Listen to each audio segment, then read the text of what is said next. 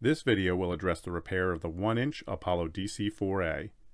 These repair procedures will work on both the standard and lead-free version of this device. The tools needed for this repair are a crescent wrench, a flathead screwdriver, and a Phillips head screwdriver.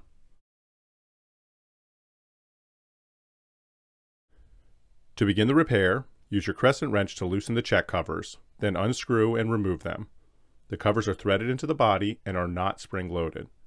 We recommend servicing one check valve at a time to avoid reassembling them incorrectly. Once you have removed the check covers, you will have access to the check assemblies. To remove the check assemblies, gently rock them back and forth until you're able to pull them straight out of the body. Be careful to not release the spring tension while you are removing the checks. To disassemble the check, Hold the check cage while you push down on the spring retainer and rotate it 90 degrees.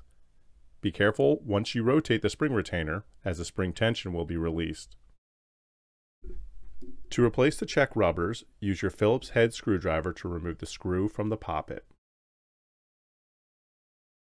Then remove the disc washer and check rubber disc. If the check disc is damaged or worn out, replace it with a new check disc and reinstall the disc washer and screw. The check seats are part of the check modules. If the check seat or seating surface is damaged, the seat will need to be replaced. Remove the old seat O-ring and install the new one. To reassemble the check valve, place the check poppet back inside the check cage and reinstall the spring and spring retainer. Using the spring retainer, compress the spring until you can rotate the spring retainer into the grooves of the check cage. The retainer should pop up and lock into the check cage when installed correctly. You can now reinstall the check assemblies into the body. Be sure they are fully secured and don't forget to replace the cover O-rings before you thread the covers back on.